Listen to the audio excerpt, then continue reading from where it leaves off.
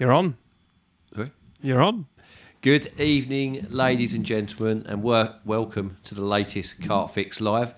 Obviously, the main purpose of this is to do the live Q and A and interact with you, the member. Um, any good questions, questions that we like, we're going to give away a free Uh, tub. All questions are good. It's worth it's worth knowing all questions are good. Oh, yeah, But any questions you prefer? yeah, questions that we really like. yeah. Um, so yeah, we're, going to give away a free tub of these mainline Banoffee cell pop-ups. Um, they're exclusive to us. You can't buy them anywhere. They're really, really nice. Um, we're also going to discuss the next um, giveaway, which is um, obviously you can see the reels, which is last month's giveaway, which we're going to draw. But next month's giveaway is five sticky baits bundles uh, worth roughly a hundred pounds. We haven't actually calculated how much they're worth yet, but um, there's five, five going to be five winners, all going to win five kilos of sticky Krill krill active, active, 16 16, mil, millers, yeah.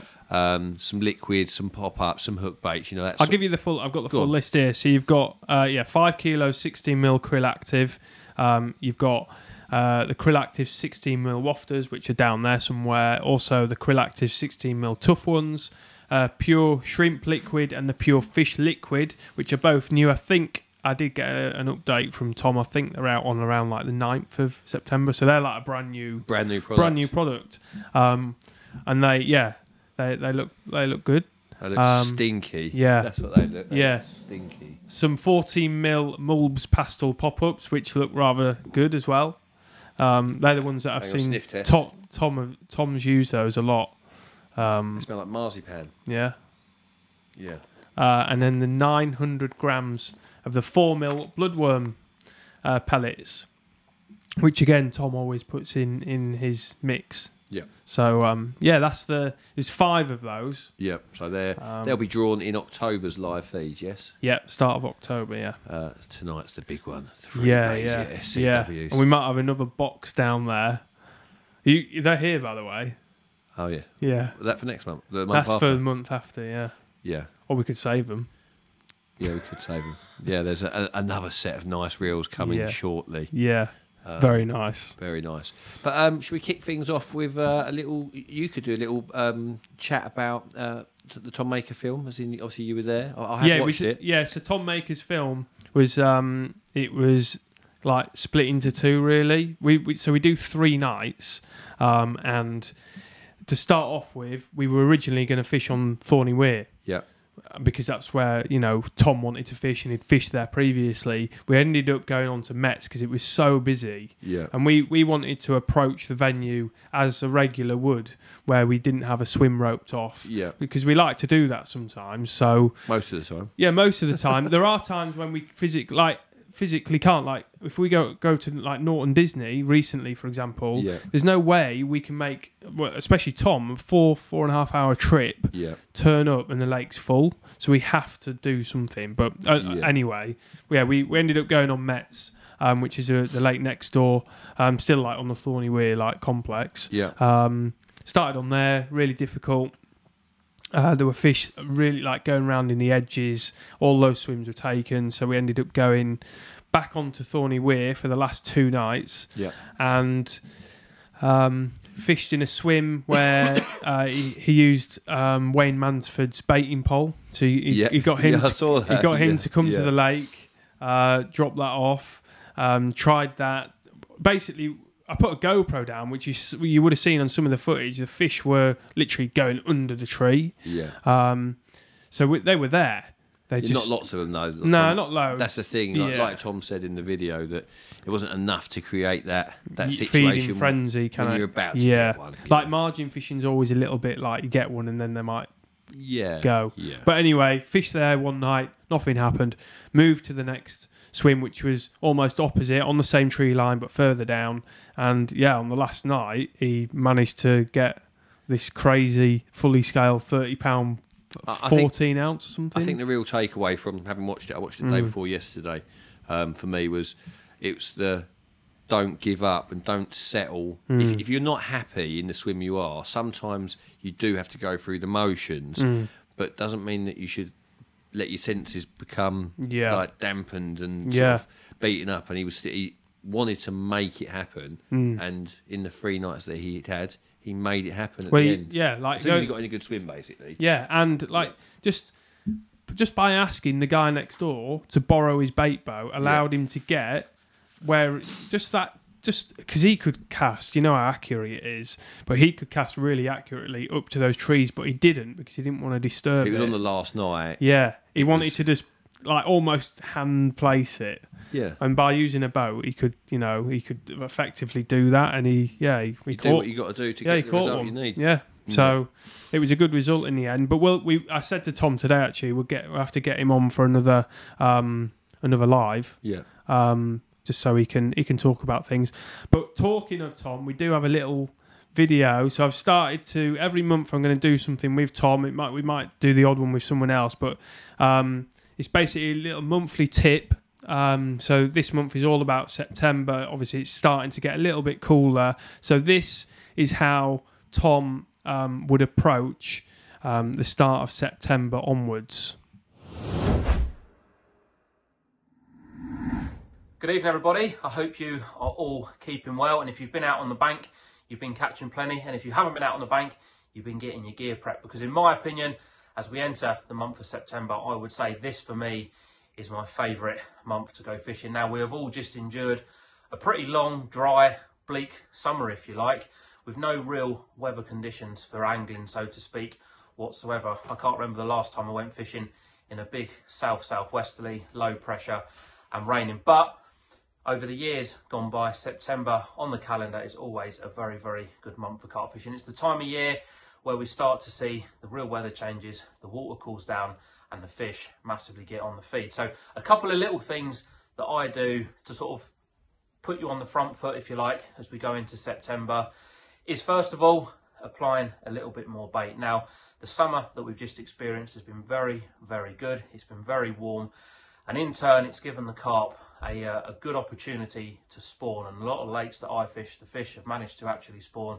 a couple of times, and they are well down in weight. Now, the only way that them fish are going to put the weight back on is by eating angler's bait. And as the weather starts to turn, certainly now is when the fish are going to be down and they're going to be having a little feed up. So, whilst I would probably start off with a similar amount of bait, sorry, as what I normally would, 10 to 15 spawns after each fish, I'd probably up it to maybe five or eight spawns after each fish rather than just a couple. Because I think once the fish get on your spot, they're going to be a lot more hungry, a lot more ravenous, and they're going to be eating a lot more bait than what they normally would do. So, yeah, certainly increasing the bait that you're putting in is a massive, massive edge. And not only that as well, and I'm sure all of you watching this will know that because of what's happened over the last 18 to 20 months with COVID and people not being able to go fishing and more people getting into fishing, the lakes have seen an increasing amount of pressure as well. Now, in turn, I personally feel, and I don't know how other people feel on this, it has made the fishing a lot more tricky than certainly what it used to be a couple of years ago. The fish are being fished for a lot more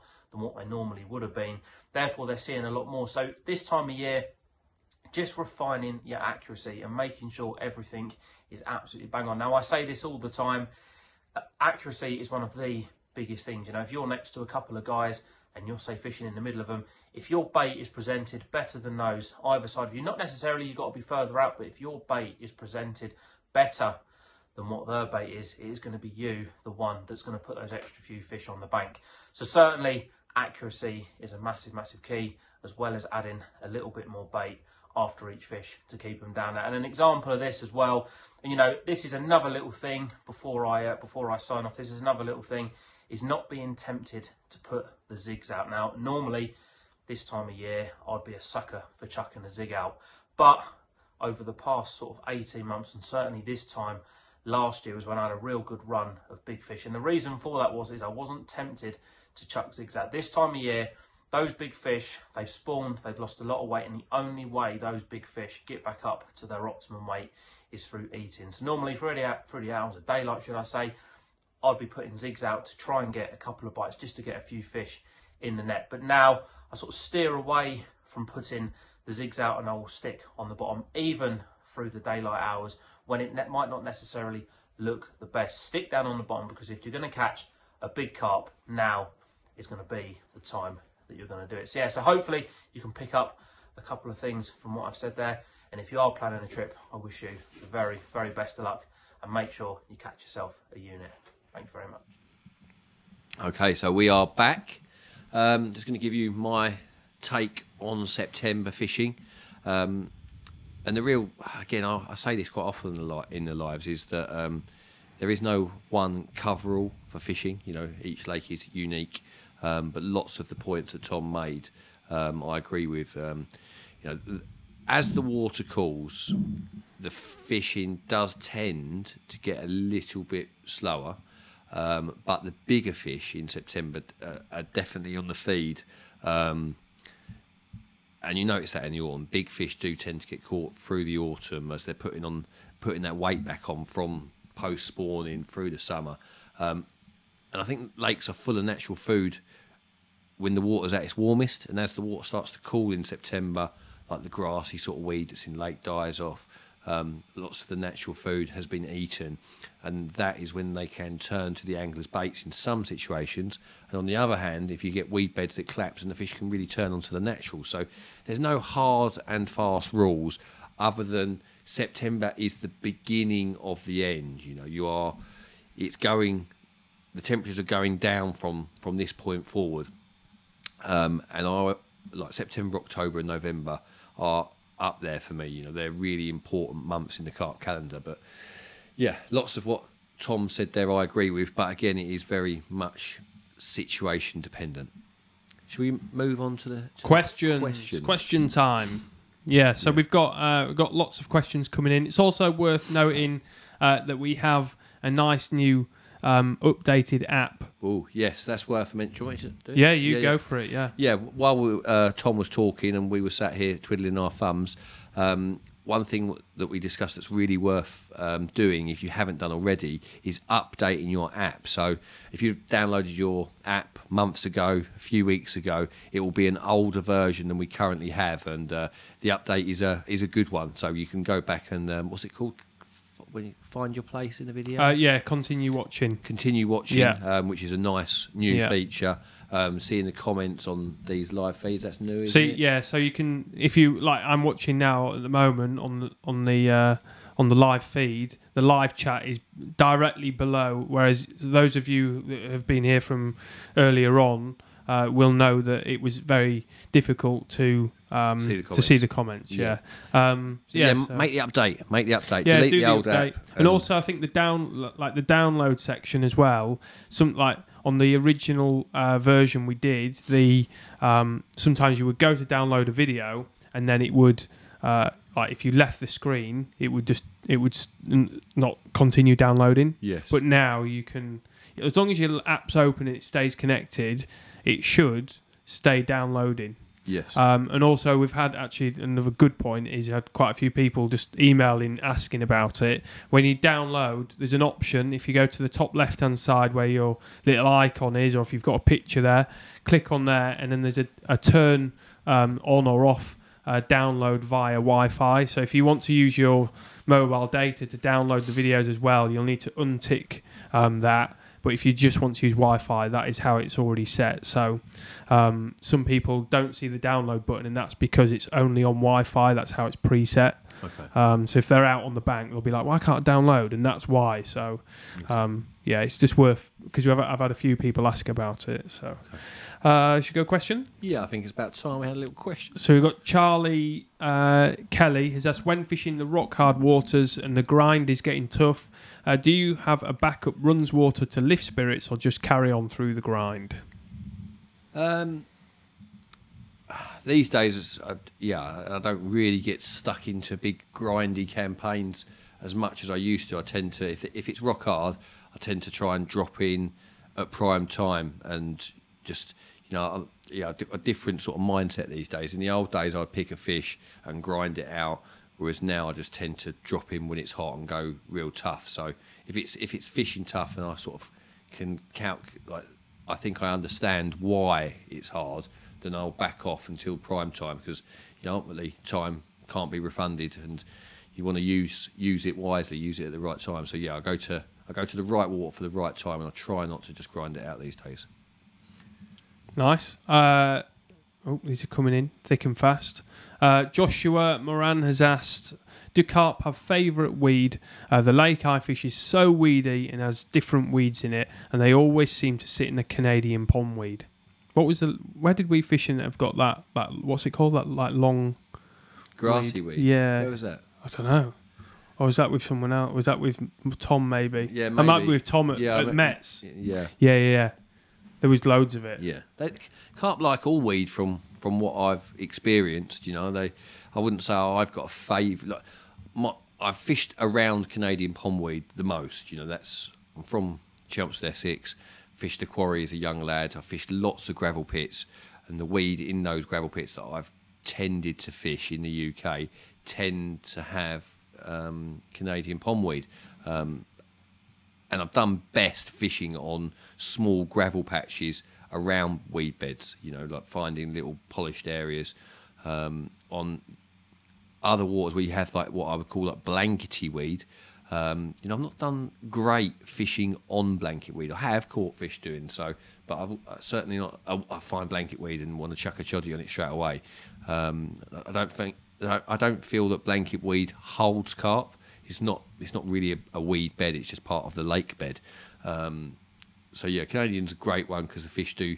If it's dense, they do feel comfortable in it. Um, they love the kelpie type weed. They really like that. Um, I've never experienced it myself, but people tell me they love the onion weed. Um, but yeah, gen- generally carp do like weed that's gives them cover. I think it's more to do with the cover and the sanctuary rather than it just being a weed. Like I say, the blanket weed doesn't offer sanctuary and it doesn't really hold the carp in the same way that other weeds can. Cool. Um, Jimmy, oh, this uh, keeps. I, when I get a question, it kind of jumps. That's another little thing I've got to fix. Jimmy is asked, thanks a lot for your techers. Took 11.30s on the rigs this se- this season. Eleven thirty. Nice. Send us some pictures. We like to see pictures. Yeah, we can we can drop them in on our social. yeah, I have media. got some to put up that people have sent in. So Yeah. yeah, if you've got any pictures on on like on these pop ups, like if you've caught any fish on these, um, send us some pictures because we like to see them, um, and we'll certainly make use of them if uh, if you if you'd like us to. Yeah, that, that combi multi rig. It's nothing new, um, but it's it works. you Yeah. know, and anything that means you haven't got to keep tying rigs. You know, if you Mm. you go through hooks, and if you don't have to tie fresh rigs, and you can you you getting mega value for money if that rig just stays on on your rod permanently. Yeah. It's, um, it's a really good a really good presentation, really convenient. Yeah, uh, Saws, who uh, is has been here from day one, and I'm sure many of you have been. Uh, he's asked a question. He's asked uh, when being stuck in a swim, for example, with a draw in a match. Oh. Uh, are there any ways to try and influence the carp to move towards your swim? No, like that's the that's you know that is the Is there a secret yeah, liquid? Yeah, maybe there is that I don't know about, but um, you know that's my idea of a nightmare: being in in the wrong swim without the option to move and having to watch, watch somebody else fish for them. Um, it's like watching another man in your house. You, you just don't want that. You, know, you want to be in the right swim, but I can't. Yeah, I, I haven't got an answer that's going to help you in that situation. You know, I, I just sulk in that situation. but it, it's certainly not turf out loads of bait because if the fish aren't in front of you, loads of bait isn't going to change that. you Yeah. know. Um, you still want to be just fishing well and wait for the fish to move in. The so- only thing I could think is it's a bit of a gamble when you're match fishing, but obviously the pressure. If someone's putting loads of pressure on, eh, and you take that pressure off by taking your lines out, which you probably wouldn't want to do in a match, but No. could that potentially bring them over a little bit? Maybe, yeah, you could do, but I would probably just get my traps out, make sure that I've done it well, Yeah. and then just leave it. And pray. Because, yeah, just because if they come in and you've got to recast, you've got to disturb Yeah. the swim, so Yeah. you might be better just getting out well and just sitting tight. Yeah. Certainly not spomming every two minutes. Yeah. But again, it's all venue dependent. Yeah, I tell a little one when I think I've told it before actually when I was on because I fished a couple of the matches and I um, fished opposite Rob and Brad Greening Yeah. on uh, where the golf course is. I forget the name of it, like that match kind of lake. It's got a golf course on it. Forget the name of it, but um, they were fishing directly opposite us. They got the fish going crazy on zigs. They're spotting like loads Oh, of yeah, like yeah. s- s- like Floaters and yeah, well, yeah, just all like cloudy stuff going out. And me and me and Steve, the guys fishing, we just fished directly off the back of them within Yeah. our like boundaries. But it- all the stuff was coming out into our swims. Just fished off the back of them. They qualified in their section, we did in ours. Because but we took that opportunity. We were like, hang on, they're like Yeah, yeah, yeah. You'd be they're going for it. Yeah. We weren't putting any bait out. just casting zigs Just- long. yeah, yeah, it's worked. But, um, Cool. Right, let's have a little look. Um, so we've got Jimmy Taylor Guard has asked if you were seeing fish showing in your swim, what would be your go-to rig hook bait as a single? So you're gonna whack out a little single. Um, we'll give him a tub of pop-ups. That Yeah? yeah. Jimmy Taylor. Let's give him a tub of pop-up. Um, again, situation dependent. You know, if the water is clear, and we're talking in the spring, um, then a yellow pop-up is quite often my go-to. You know, a pineapple juice from Mainline, Essential Cell, um, Essential IB. You know, they're they're all proven yellow hook baits that I've done really well in the spring in clear water. Um, I feel in the summer or in a murky water situation, um, a solid bag could be a better option in, in this in this day and age. I think there's the single pop ups have definitely been fished a lot heavily, and if the fish are pressured, um, they certainly can ignore them. Um, and they, in the Priory Park film, like like um, that we done a little while back, you know, that's a perfect example. Tiny little park lake, clear water, fished to death with pop ups. The fish have seen it, even though there's a lot of fish, tiny little lake, they've seen it and they just ignore it. And then we, we came in with solid bags and just that little parcel of food, you know, that can be, it's a, it's a deadly, deadly method, the um, solid bag when done correctly. Yeah. Um, okay, let's have a little look. Steve Middleton has asked, when fishing a weedy water which uh, has a hard bottom, how would you go about placing a rig? A weedy water which has a hard bottom.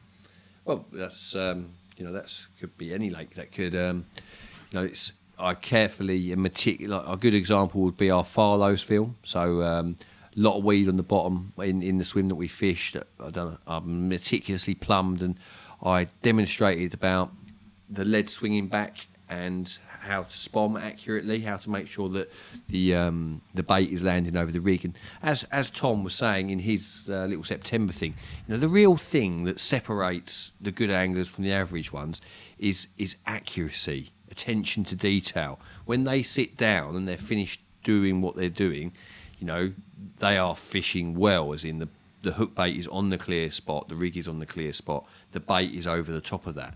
Um, and a, lot of the times, when you're less experienced or inexperienced, when you sit down, it isn't quite sat right, you know. So spend the time in a, in a weed on on weedy lake. Spend the time plumbing, getting the bait over the top of the rig, calculating the swing back, making sure that you get a good drop when you put the rod out. They're the things that will really, really make the difference.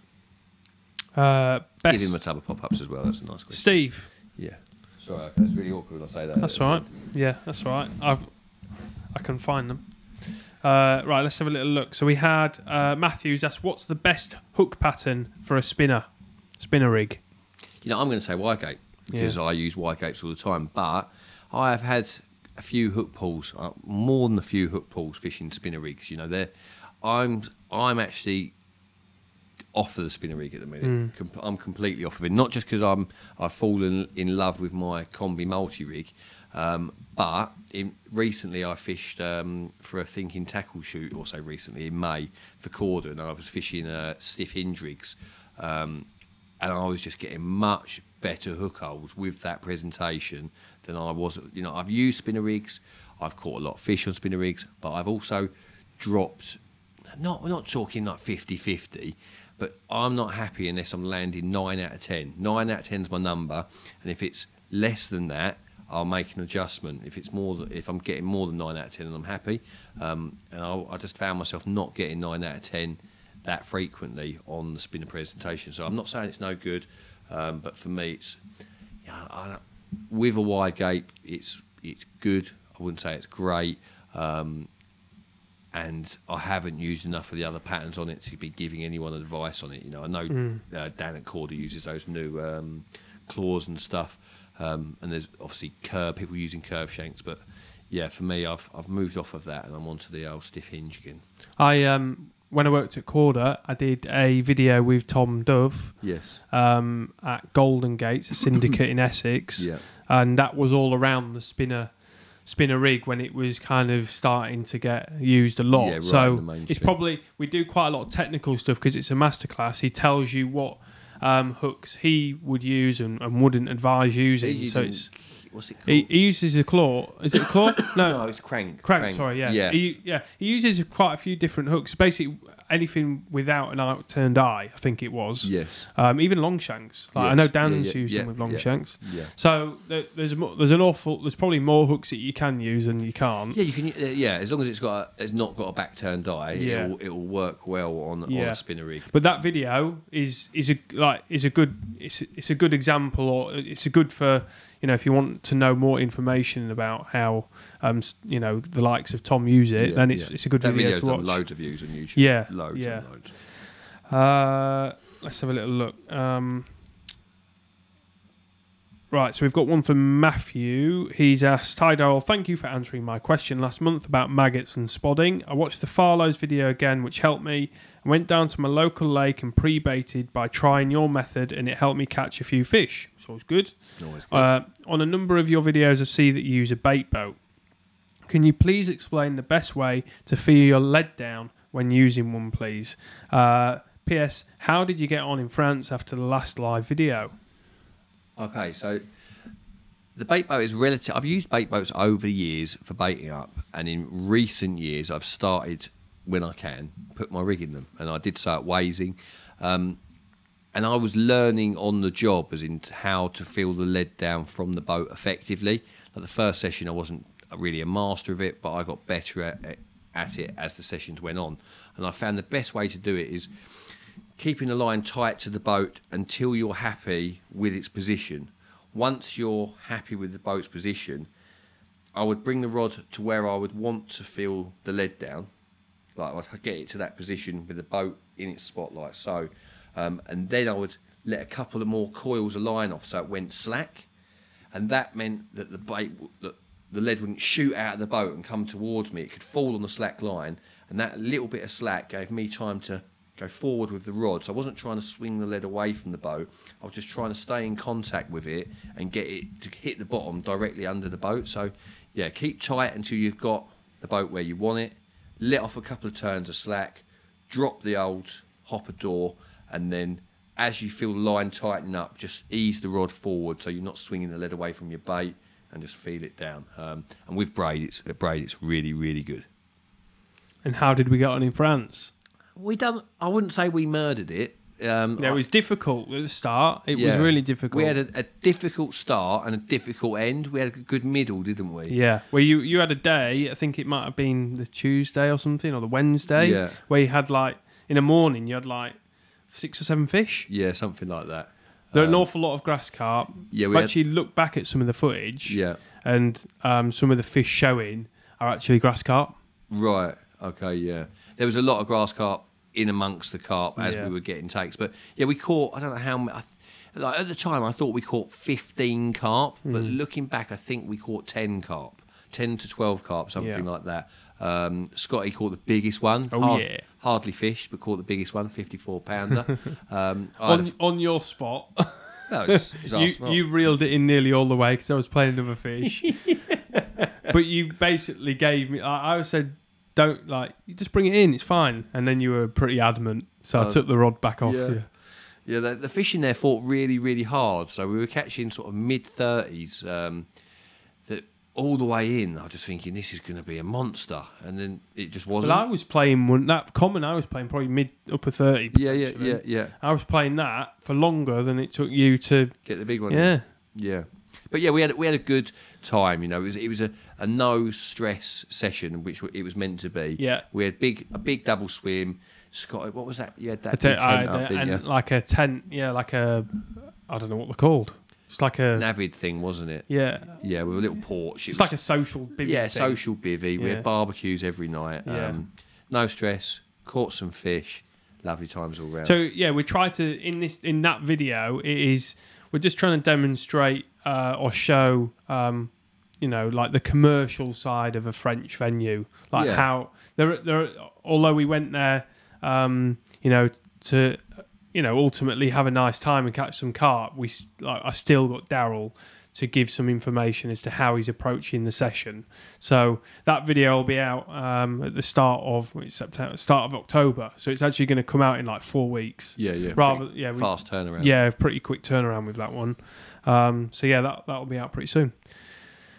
Uh, Stephen Pegg, like you fished. Uh, I'm on uh, Baden Hall um, Quarry right now. Wait. He's had a 42 pound mirror. Nice, Nice. Yeah. Very nice. We never had any 40s when we were there, did we? No, No. um, what was it? 30. 38. Yeah. Uh, okay, so Neil, back on the topic of France. Neil Brinkworth has asked, uh, "Hi guys, going to France in October. How would you fish a 17-acre clay-bottomed lake with no features as such, no weed, gravel, etc." Um, you know, one of the things that we I probably done wrong on this recent session um, to France is I didn't come with different options. I only came with boilies and a few tiger nuts to use as hook baits, etc. Um, and it does help, you know, if you if depending on the nuisance fish situation. But you need it is good to have a few different options, you know. Um, spe- it, what time of year is he going? Uh, I think it was. I think it was October. Uh, Yeah, yeah, so- October. Yeah, Yeah, so for, next month. For example, when I went to, um, I fished on a a lake in Germany um, for, for from autumn masterclass, and to start with, I went in heavily on the boilies and crumb and a few tigers and stuff. Um, and as the session progressed, I then started using maize, and the maize definitely worked really well. And I know that at Gigantica, the maize can work really well as it starts to cool off. So Maize costs nothing as well. It's, it's really worth having, a, depending on the nuisance fish situation, it's worth having something other than just some boilies. You know, take boilies by all means, but have some maize, have some hemp, and if there isn't nuisance fish, you won't go wrong with some maggots. you, you know, like those those real murky French lakes that haven't got roach in and stuff. I, I know guys that have taken 20, 30 gallons of maggots to lakes and literally nearly caught every carp in the lake because they'd never seen it before. Um, obviously, it's situation dependent. If there's loads of nuisance fish, you can't do it. But Yeah. um, yeah, have some bait options. You know, definitely, definitely maize, definitely a bit of hemp, um, and obviously your boilies. Yeah. Uh, okay, Wayne Collins has asked, uh, Darrell, I'm new to zig fishing. Do you act on every beep or do you wait for a proper take? You know, that will only come with experience. You know, um, you know, you when you get a single beep and it's a take, it's not the same as getting a single beep and it's not a take. And what I mean by that is you need to be able to see that something is happening, as in, is there a continuous pull on the bobbin? Is the line get, getting tighter even though it's not bleeping? Is the line falling slacker even though it's not beeping? Um, so yeah, a single beep isn't a great description of of what's going on. You know, the beep alerts you to something going on, but then it's your you've got to look at it and decide whether something is happening. You know, you have to read read the line, whether it's tightening, whether it's slackening, or whether it was just a wind. You know, because a lot of the time a single bleep isn't a bite, but it can be. Cool. Uh, Jim has asked, do you think braided mainline will soon become the normal on all waters? No, I think, especially not in the UK, we are a little island that just loves rules. You know, it's oh, you can't go out and boat on here. You can't do this. You can't do that. You you can't throw this bait in. You can't use that bait. You know, it's and braid is what on so many venues it's banned. You know, it's I I don't use it as a first choice. I, I like fluorocarbon for my general general carp fishing, um, but it's definitely in certain situations the best. You know, at, at for example, when we're fishing across those snags, you know, if you're fishing locked up at hundred yards. On the take, on the stretch in the line, they could they can run a rod length. They can run a rod length and get into the trees before without even if you're holding on tight, the stretch of the line can take you in there. But the braid, you know, they can't. There's no stretch, so they can't do it. But you know, I don't think it will become general use because because too many fisheries ban it. Yeah. I think there's always there's always going to be like Yeah. there's, there's yeah there's always going to be waters that are no to braid. Yeah. Um, Adam has asked, uh, when there is no sign of fish, uh, what would your approach be? Front of the weed, area, depths, uh, area of, of depths, I guess, uh, or zigs. So how how would you approach uh, if there's no sign of fish? Get on your toes. Well, yeah, I'd just pick a room with a view normally. Uh, obviously, depending on the stock of the lake. Let's say I've seen nothing and I know there's hundreds of fish in the lake or even thousands. Then I'll, in that situation, I'll probably pick a very obvious feature that think I look an island, some reeds, some lily pads, something very obvious. Or on a big open lake, I'll pick the middle, you know, somewhere with a big view. But on a, on a low stock lake, you know, just I'm just I wouldn't put a lot of effort into fishing until I did see something because you know it's you, you don't want to be a busy fool. You know the mm. Wasing film showed that like when I couldn't get in to swim where the fish were, I just didn't fish. You know, and that you know not being trapped to your swim by a set of rods can be of better use to, of your a better use of your time than just dr- like as we say drowning some maggots. You know, wa- wasting your time. So yeah, I would say on a a lake full of fish, pick an obvious feature or the middle. On a, on a low stock lake, a really difficult one, just just don't tie yourself off. Enjoy being there. And I enjoy searching, so it, it, whether I, I can't bring myself to put the effort in to start fishing unless I think the the the reward warrants the effort. You know, that's sort of what I'm trying to get at. Yeah. Uh, Jared has said, I bumped into Scott and Tom at Norton. Nice to meet you, Jared. I don't. I, I mean, we met quite a few people, but it was it was nice to meet you. Maurice has said evening. Sam has said hi, Darrell. Andy said, "All right, gents. Oi, oi. Tho- those of you that are just joining us, we are going to do the draw for these uh, tasty-looking reels. Scott wanted to use them in France, but I said no. They're nice reels, aren't they? They are. So we're going to give those away uh, Shortly. by yeah by the end of the by the end of the the, the live. Um, yeah, over fifteen hundred pounds. If you were a member last month, then you uh, you are in the draw. Um, and also, we've got some pop ups that we are giving away. So if you uh, if you keep asking your questions, Darrell or myself might uh, um, send uh, send a pot your way. So yeah, get your questions in. We're, we're going to keep firing away with them. Um, so Michael has asked if you could have uh, any swim on any lake in the UK, what would it be? Uh, because if we all could, we would. If what? If I could have any swim? Any swim on any lake in the UK. It's a it's a really random. Yeah, really random. Yeah. Let's have a pop up today. Yeah. Yeah. Let's give it some. um, I've obviously on certain lakes over the years, I've had favourite swims. Um, Wellington Country Park, Hole in the Bush. You know, I had some real good fun in there once I got to grips with it. Rockford, when I fished there, I had a really good time in Peg One. You know, when we were at Wasing, I've had a really good time in the bowl. Um, but one of my favourite favourite swims of all time um, in the UK was the Bailiff's Point swimming around in the sanctuary. So you, you you'd have your rods in all day and you'd be looking at these fish. Like I used to say, looking at what's on the menu. you'd see them all swimming around in the day, having a real relax. No point in fishing because you know all the fish are in the out of bounds. And then of an evening, you'd go round, chuck your rods out, have your dinner. Go to sleep, knowing that they're going to be drifting out under the cover of darkness, and Yeah. um, yeah that's yeah, that's one of my favourites. Nice.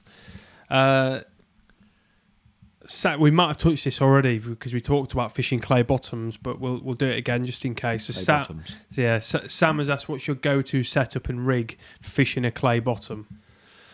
Um, uh, you know, I like a lead clip where I can. You know, I really I like a lead clip presentation. If it's hard clay, you know, you, going to get good presentation with that. You know, I don't use inlines enough these days, but they are one of the best hooking mechanisms. But I, I, I, I would say full clay, I would probably find myself using a lead clip.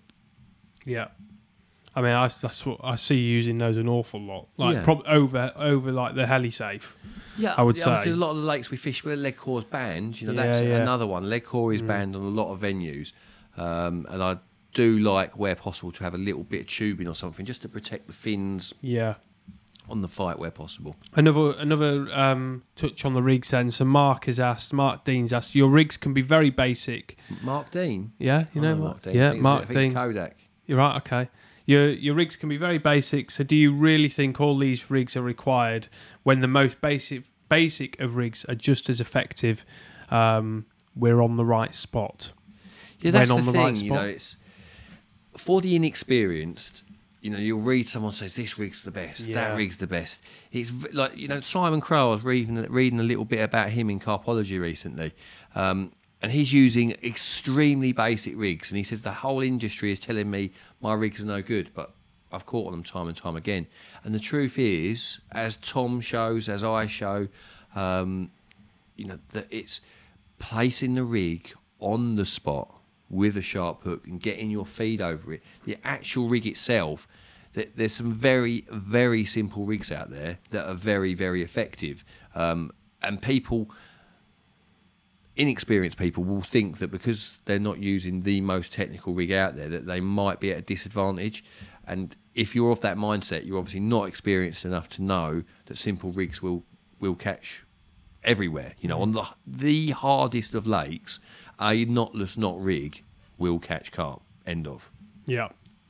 Um, Emil sounds like he's having a very nice evening, drinking some pints and watching CarpFix from Sweden. So, Oh. hello, Emil. Hope you're having a nice time in Sweden. Are any good good fishing in Sweden? Well, someone has been messaging me on um, on Instagram with a lake that he wants us to go and film at. Is it Emil? Let's have a little. Emil? Be. Yeah. Um, I'd have to look at the yeah. messages. well, Um, Emil, if you know any lakes, Um, yeah, and it basically showed a picture of a, of a 48 pounder that's sometimes 50, um, and some other like 30 pound scaly ones. But it's some, it'd be a long way to travel for fish of that size. oh, you definitely go, may go somewhere else as well. I think. but it'd be, it'd be, it's, it's cool to go and fish for cool carp, you know, Yeah, especially, yeah. especially Yeah. if it's quiet. You know, for me, Yeah. the two biggest things that I want in my fishing are beautiful carp Yeah. and space. Yeah. You know, like not people either side of me. You know, a little Yeah. bit of room and beautiful carp, and I'm in my element. About the scenery's nice there as well. Yeah. Uh, right, let's have a little look. So we've got Aaron. Um, you can only fish one syndicate uh, in the UK for the next five years. What one and why? Well, if I was only going to fish one lake, and I was going to spend five years doing so, then it would go for the Burghfield Common. You know, I would commit to that. You know, if that if if you were going to fish, because you wouldn't want to. Let's say, for example, you picked another lake and you went and caught the bigger than it, then you'd be sitting there for five years wondering what you're going to do. You know, so yeah, if I if I had to fish one lake for five years continuously. Um, then it would be Burghfield because the fish are still the other fish in there are still getting bigger. The Burghfield Common is you know an old fish could drop dead at any minute or get eaten by an otter for, for who knows. But yeah, it would be Burghfield. Yeah. Uh, David has asked, how do you work out the swing back of the lead across the different depths of water? I know we touch on this quite a lot, but obviously people watch at different times and don't watch Yeah, back. it's- So It's yeah, it's a real skill. This you know, and there there are formulas, but formulas are open to getting it wrong. I find the most effective way is I plumb for my spot until I'm happy with it. On so when my lead lands, it's on the spot. I don't pull onto the spot. It's down. It's on it. So once I'm happy with the length of line that it takes to reach the spot, I will then change the lead for a marker float setup, cast out on that exact clip, don't pull it back, pop the float to the surface, and then spod to the float until I get it landing exactly right. And then you can work out the difference. But um, the the if you have if if this person who asked the question, we'll give him a tub of pop ups. David, If he if he hasn't watched the Farlow's film, I really really strongly advise that you're obviously a member because you're here on the live. Yeah. You you watch the Farlow's film because I really demonstrate it and that holding holding the rod consistently at the same position Yeah. while the lead is descending and finishing with your spod in the same position are two things that no one ever talks about. They go, ah, you just hold. If you let's say you clip up half a rod length shorter with your spod rod, but if you're holding your rod here one minute, one over there, one over here, then there's no consistency to it. So yeah, watch the Farlow's video um, and be consistent with your finishing rod position with both your fishing rod and your spod rod. Yeah. Uh, right, let's have a little look. We had a good one here. Well, they're all good. I'm just going down literally as people write them. I'm put. I'm just going through them. So hopefully there aren't been any missed. Uh,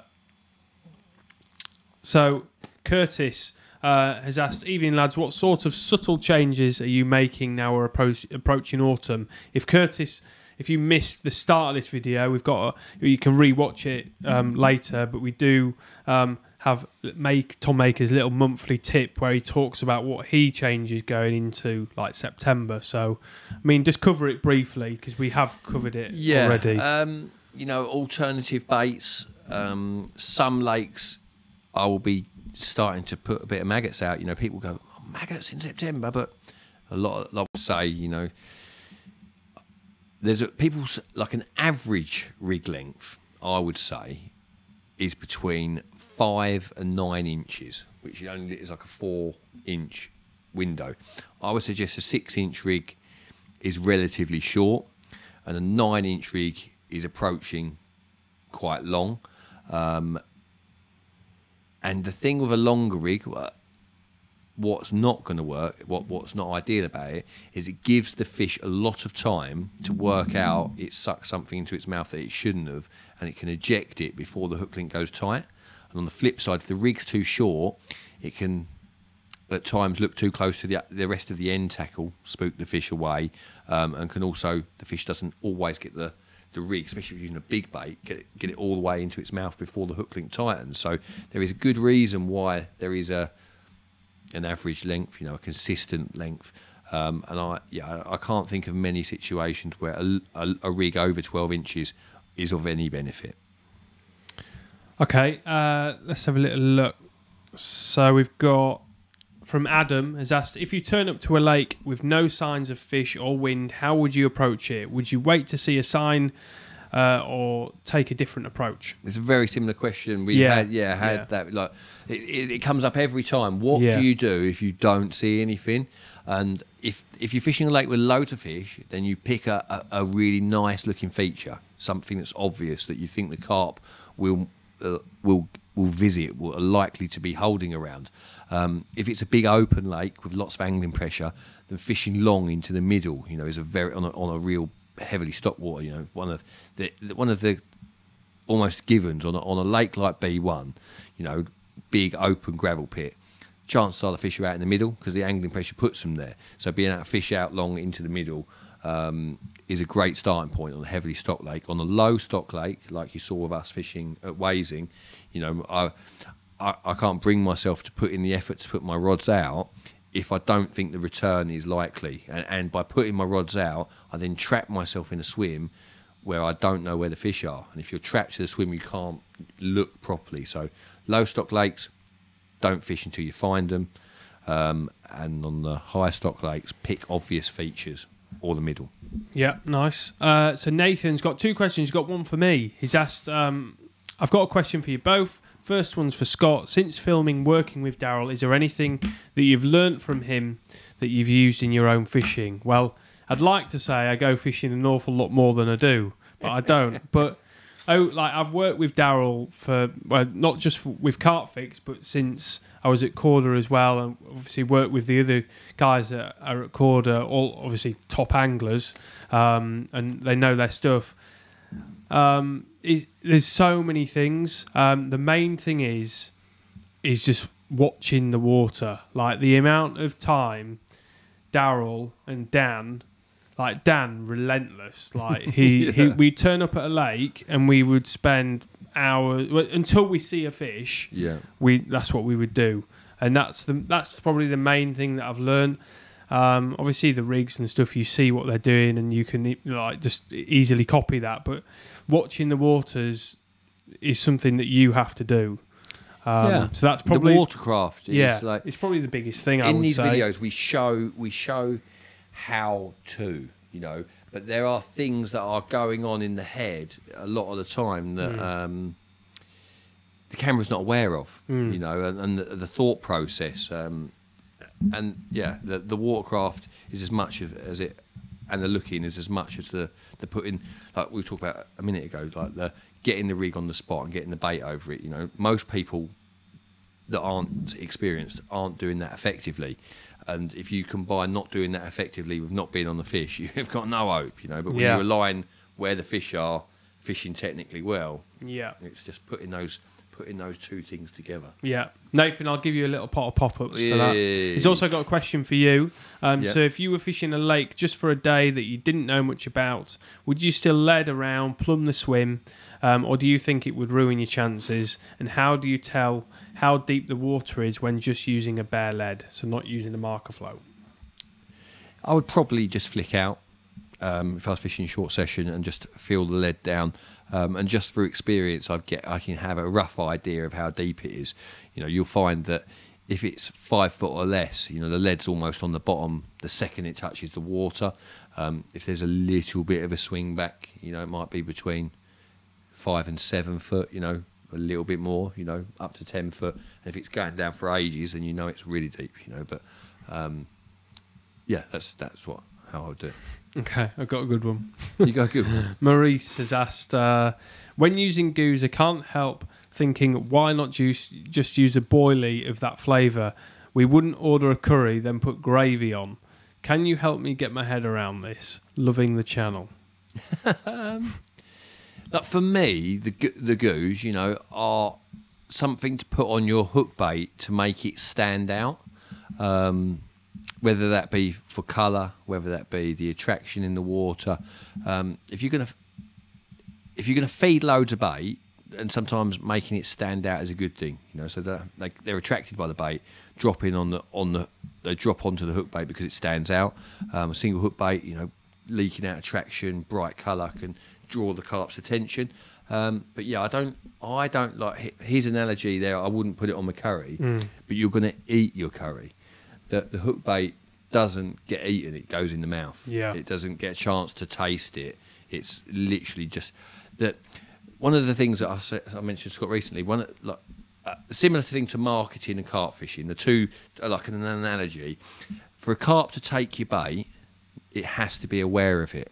If you want to sell something, the customer has to be aware of it. They're the, they're two things that you know, like the, people um, because they're cast into a lake blind, they think, um, oh yeah, the bait will just bring the fish in. And maybe in some cases the bait stops the fish swimming over, but the reality is you need to go to the fish and show them what you've got and give them the opportunity to take it. And if they're in the mood, then they will. Yeah, nice. Uh, I've got so many questions still coming in, so we'll try and fire through a few. Uh, so, Neil has asked if your life depended on catching a carp and you were only, uh, where has it gone? If you're only allowed three flavours, there's so many coming in, uh, in a homemade boilie, uh, what would you pick? I guess it's boilie, he hasn't put that, but what what three flavours um, would Darrell Peck use? Cell. So cell would be my, my boily type. Um, squid goo for me pink hook baits. And then for the yellow ones, I would probably at the moment say no name. I would Yeah. say yeah, they're they're the squid is I've just I've got so much confidence in that. The no name has been really good to me recently, and Cell has stood the test of time. Um, for hook baits as well, the Banoffee Cell, Oh, yeah, the Banoffee yeah. Cell hook Well, that's why you had these made, Yeah, like yeah. For, for CarpFix, because you've done so well on them. So yeah, the, the offer still stands. By the way, if you spend fifteen pounds at carpfix.shop, yeah. Get yourself a little tub of these, or keep asking questions, and we might eventually pick you. yeah. Should we give him a tub of pop ups? uh, yes, uh, Neil. Yeah. Okay, let me just write that down. Um, the Emil from uh, Sweden has just asked a question as well. Uh, he's about to fish a 600 hectare lake. Wow. uh, and we'll fish it with a bait boat um, at 200 meters distance. Yeah. Best rig? Question mark.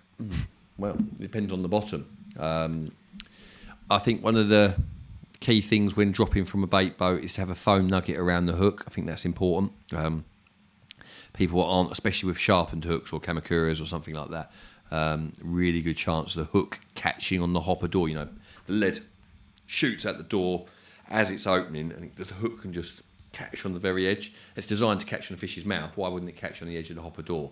Um, so yeah, a foam nugget on the, on on the um, on the hook, um, and I, I, I think a lead clip or a helicopter rig is is ideal in that situation. I think both either or, um, even at 200 yards, is he fishing braided mainline? Did he mention He, that? he doesn't say. He- Um, but even at 200 yards, you could feel lead down on braid. You literally could, but um, don't have the line. Take the boat to where you want it, keeping the line tight when you've got it there. Let from the set when you're ready to drop. Let yourself out a few feet of line, just a few feet. Drop, and you'll see suddenly the line shoot tight as the as the leads fall in the surface tension. It builds up a little bit of tension in the rod. Go forward so that it doesn't swing away from the um, swing away from the boat and feel it down. But yeah, lead clip presentation with a combi multi rig, a stiff hinge rig, or a helicopter, either will be fine. Cool. Finley has asked, Hi lads, hope you're having a great day. Uh, what are your general rules with different winds that could present themselves? Have a good and Lars. um, it's Friday. Yeah. Um, uh, so- Winds. Talk to me Winds. about winds. Right. Again, situation dependent. You know, everyone says when the easterly comes, when the, when the wind's from the east, the fish bite the least. You know, I've heard that. Northerly's no good when it's northerly. Some of some lakes that I fish, like Conningbrook, a north easterly is the best la- best wind on that lake, and it's more. What's more important is what area of the lake it blows into. If it blows into the the best features, the best weed beds, the best gravel bars, you know, all all of that sort of stuff, then any wind on its day can be good. Um, in the height of summer, for example, when it's it's it's real hot, st- like no oxygen in the water. If you get a beast in easterly that blows in, cools the cools the lake down from real hot weather when it's been stagnant in like really stiflingly hot, then the easterly can be the best. So there's no rules, but in the in the autumn, I would say I've often done well on the back of the wind. Um, a lot of the time, a lot of the time, just slightly, a little bit warmer there. Um, that in the summer on the wind, in the spring, not the early spring on some lakes, like but the later spring, the wind can be good. So again, you'll hear me say this a million times. You need to understand or take note of what the fish in your lake tend to do. You know, if you see them at a certain time of year react to the wind, note what they did. You can use that in to, to help you find them next time. Um, but yeah, anyone that says Easties are no good, northerlies no good, they love Southwesties, it's all jargon. You know, it's it's all dependent on the situation. Yeah. Okay. Cool. Uh, let's have a little look. Um, so Alan Groves has asked. I'm I'm giving that guy a pop pop ups by the way. Okay. Uh, Finley. Um 'cause because you don't get often get questions about like the wind and stuff No, like that. So that's- I was, that's just yeah, we'll just give give some there. Yeah. Uh, Alan has asked, uh, "Hi, I only use a two and a half ounce lead, and I'm struggling to feel it down even when I clip up. Have you got any tips?" Um, depends on the depth of water and how far out you're fishing. Um, but I would say practice at underarm range to start with. Get a, a, an idea, a feel for how it works. Um, practice in deeper water, and then like we've had this question before. It's, it's quite a common one. Um, you know, like uh, it, even for really experienced carp anglers, feeling lead down at long range in four foot of water is very difficult. You know, feeling lead down at long range in 20 foot of water is easy, you know, because you've got loads of time. So practice at short range in deeper water. Um, it, the lead weight is not really important. You'll feel it better with a heavy lead, but um, if you're fishing 20 yards out, two and a half ounce lead's more than enough to help help do it. But practice when you're not actually trying to catch a fish, you know, just with your plumbing rod, you know, just go go to the lake for an afternoon casting about. Start short, work your way out a little bit further, but the real key to it is stay. If you're using a clip, is staying in contact with the lead once the clip brings it out the sky. Because if, if you hit the clip too hard and it pings back, you you you're not in contact with the lead anymore. So you need to. You almost want to have the rod to the side, anticipating the clip when you know it's close. You know, you cast out, you come to the rod side slowly, you hit the clip, you cushion it in, and as it hits the water, you bring it back just a little bit, just to take the slack out of the line um, to feel it down. But again, it's it's a it's a practice makes perfect thing. Yeah. Um, so Tim uh, Albone has asked, "What do you do if you get two tickets that come through that you want to fish? How would you divide your time? Fish one for some months, or switch more often, weekly, etc. What would you do? what you know. You could say certain lakes uh, are are better to fish at certain times of year. You know, if you if one's a really good spring water, then you pick, you you fish that one. But concentrating on one task at a time is the way to do it the best. You know, Uh, but sometimes if you if you know you're flogging a dead horse, if you know, for example, there's a big an explosion of algae or a massive natural food hatch on on that lake, and the fish are preoccupied, then you might be better on the other one. It's reading the conditions and the situation, but. The, to to make it like a sim- simplify it would be to pick the one that you want to fish and concentrate because yeah, consistent time putting the pieces of the puzzle together are going to be the things that really help you put those fish on the bank. Yeah, we've had uh, Jonathan is Jonathan and Adam have both said the app is great, hundred percent better. So that's Yeah, good. yeah. we hope you like it. If there are any, if there's anything that you would still like to see, there are some of the things coming which are quite exciting, which I won't announce yet because they're still being worked on. But it does involve you guys and you being able to be a bit more um, interactive with us. Um, so that's coming soon. Okay. Um, hopefully, Further updates. yeah, Further updates. yeah, yeah. Just yeah, just another update. So yeah, there'll be updates coming out of our ears. Yeah. Um, but yeah, so it's good. It's good to hear that you uh, you you are liking it. Uh, let's have a little look here. So we've got Mark Casey's asked um, a question about fishing in a charity match that he's got at the end of September. It's a hundred acre lake, depths to forty foot. Um, any advice other than finding the shallow areas? Have you done much of like ma- Well, the, you know, hundred acre lake, loads of deep water. You're not going to get to pick your swim. You know, I'll- in a match? in a match, I'll just say you got to pray. pray to get in the hot swim, you know, or the one with all the fish in it. You know, it's. Yeah. I, I, I really can't give you any advice with with any authority that's going to Mm. Yeah. help you here. You know, it's, Yeah. um, you know, if you end up in a forty foot swim with no Well, carp in it, yeah, if you're in a mat, yeah, if you're in a match, it's look at the yeah, draw, make isn't sure it? your call box is well stacked. Yeah, Yeah. yeah. Look, hopefully, you come out Early. early in the draw and you get a decent swim. Yeah. It sounds like your best, one of your best Yeah. uh, hopes Yeah. or best chances. Maybe um, fiddle in the draw. Fiddle in the draw. Don't recommend that. I'd, I would. Um, right, let's have a little look. Uh, Thomas uh, Pickford. Uh, Darrell, with your knowledge of fishing on the continent, where would you recommend other than France? As I would love to try fishing somewhere else, less on the grid.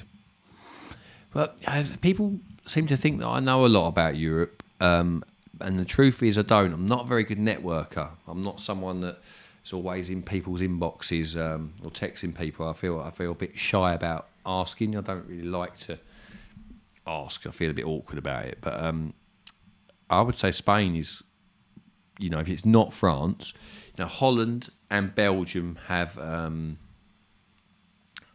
lots of good waters, lots of anglers. You know, Holland in particular is um, full of carp. You know, the, the certain regions towards the German border that have got bigger ones, um, and the tickets, the tickets for the fishing in Belgium and Holland are really cheap.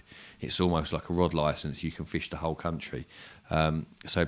Belgium, Belgium's full of nice carp. So's Holland. Germany's difficult because you need a, a, a special license. And if it's not going to be France, then Spain's the next one. But Spain's a really, really long drive. Um, I've never fished in Spain myself yet, um, but I know there's loads of lovely carp there. But yeah, I would say if you're going to be making your first few trips abroad and it's not going to be France, you can pretty much pick a bit of canal anywhere in in Holland or Belgium and be pretty certain it's got carp in it and big ones too. Yeah, just get out there. I know, you know, just getting out there and exploring places as well. yeah, yeah, Like, yeah, That's yeah. It's the way to do it, isn't Yeah. it? Uh, Matthew's got a question about coots. black chickens. Yeah. how uh, how much can coots eat uh, in kilos? Um, trash your spot. Would you top it up after so long? Uh, any way of getting rid of them? Um, those tufty torches sometimes Yeah, work, yeah. sometimes don't. You know, there's it's weird. You know, I've had coots like fly across the site, like leave the lake almost like Mm. from the from the torch. But I've also had other ones look at me with just like, yeah, and what? Um, so yeah, a tufty torch is well worth having. A laser pen, um, but yeah, there's not other than if they're really really bad, keep picking you up. Then you want to fish with something dull on the hook because if you're fishing a blatant white popper, you're just going to get picked up, picked up, picked up. Um, but they are they're very efficient at doing what they do. I, I remember using Mag Aligner rigs, um, and I've been picked up relentlessly on them by, by coots as well. So there's not a lot you can do to scare them off other than laser pen. You don't want to keep casting at them, you know, because you're destroying your swim. Um, one thing that I have done once at Bayswater was I, I cast onto the far bank because it was only like 100 yards to the far bank and I'm fishing in the middle.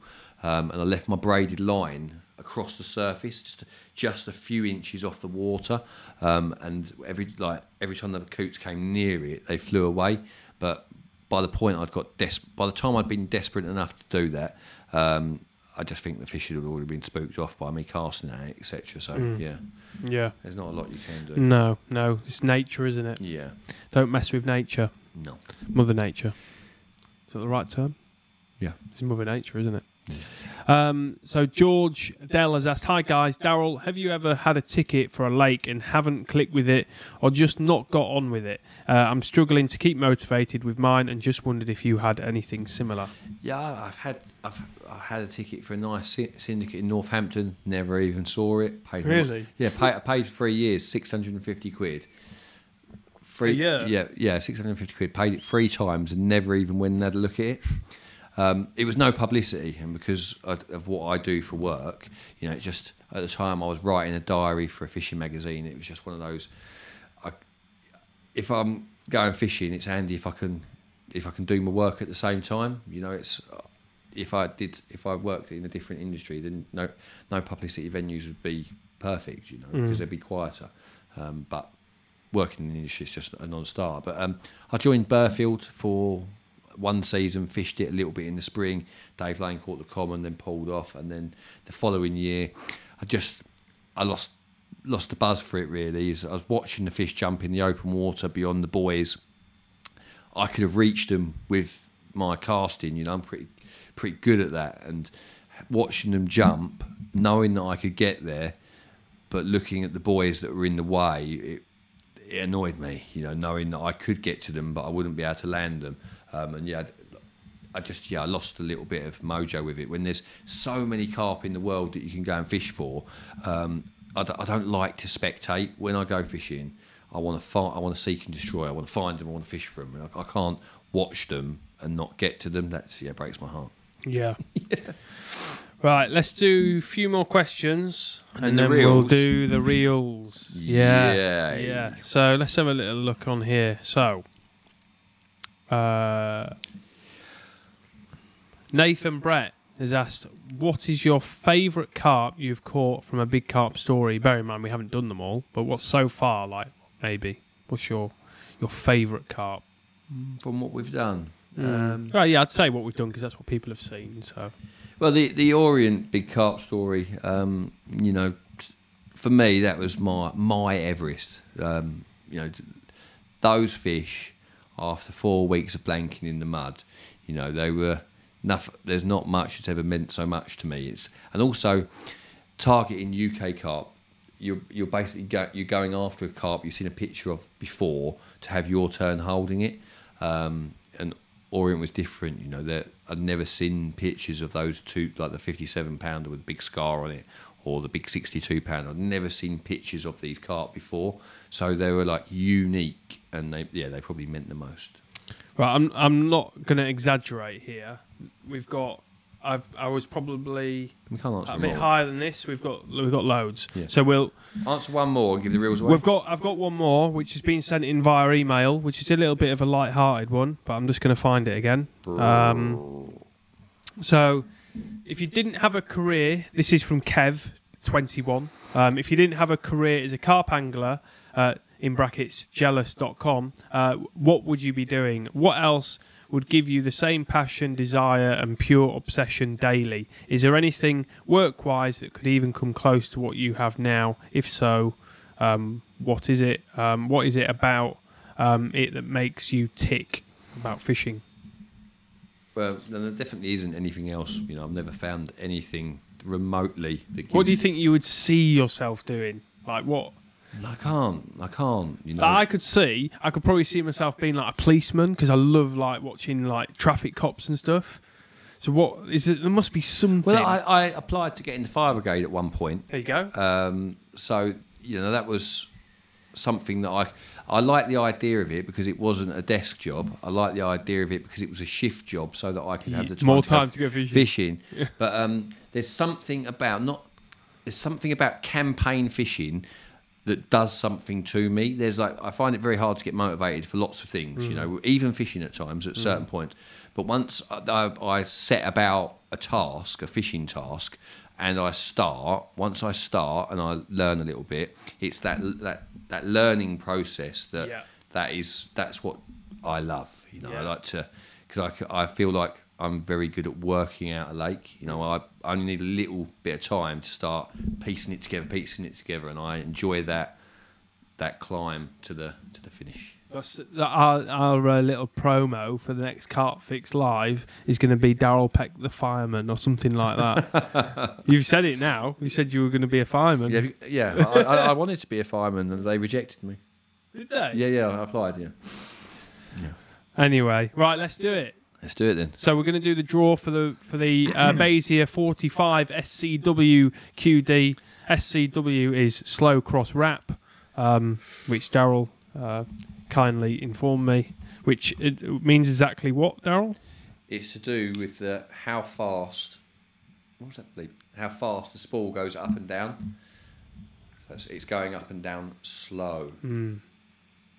So it means that the the coils are line are just stacked behind each other rather than like do do do. Like, Yeah. It's not like it's, yeah. So yeah, let's do let's do the draw. So everyone that hasn't uh, uh, watched one of these before, I'm going to switch to a different screen, which looks basically the same as this one, but it's just got a little box on it. Someone's name will be there. They're not the winner. They're just the first name that's appeared um, on on the screen uh, in the random list. Um, so I'll do that uh, right now. Uh, so there you've got. Um, you've got I've changed it slightly so you've got the person's name and then their unique code which means nothing to you but we do have um, some people with the same name Yeah. so if the per- that person comes up I don't know which one it is Yeah, so I've yeah. put their na- their code next to the you, yeah, y- Yeah. it doesn't mean anything to anyone but it means something to us so if we do get that if that happens then we're safe basically um, so all we have to do is press it once and then that's going to be the winner of these reels, which are really I bet it's expensive. intense people. On the other Yeah, but we've got we've got um, a couple of hundred people at least on the website. We don't get the figures Yeah. for the app Okay. um, just yet. Um, be really careful, but just press. I'm gonna let you do You've done it. it. You've done it. Oh, have I done it? You every every time Oh. you do that, you say don't do it. And you, Oh, I'm gonna let you do it. yeah. Right there you go, Jason. You've done it. All right. So yeah, Jason Etheridge is the winner. Jason, Um, Jason Etheridge, you've won yourself three Daiwa Yeah. SCWs. Um, we will get them sent uh, by the um, the highest uh, insurance Yeah. Our DPD will look after them. Yeah, yeah, Yeah, that- that's not one for Hermes. yeah, Definitely No, not one for no. Hermes. yeah. So there you go, Jason. Well done. You have won um, uh, this month's or last month's giveaway. Three Yeah. Basia 45 SCW Q- QDs. Um, yeah, over fifteen hundred pounds worth. You got three spare spools in there. Um, we will get in touch with you um, and s- send them out. Um, just one last thing, maybe to say: the sticky baits bundle. Uh, we got five of those to give away um, this month, and then potentially we've got them here. We actually have the the SLDs, aren't they? Yes, we've got three Daiwa Basia SLDs, which are the they're very similar to this, but they've got a wooden handle. Um, You'll have seen them. Um, I think Dan uses them in the videos. Um, But they don't they RRP at seven fifty. yeah, they're even more expensive than these. Yeah, so Yeah. we've got that coming in the next couple of months. So um, yeah, that is something. Obviously, if you haven't won this time, um, then it's something to look forward to. yeah, yeah. You got another chance at winning Yeah, yeah, we've got more reels to come. So yeah, it's uh, it's it's not over just yet. So yeah, Thank you very much for joining us, and we'll see you next time. Thank you very much.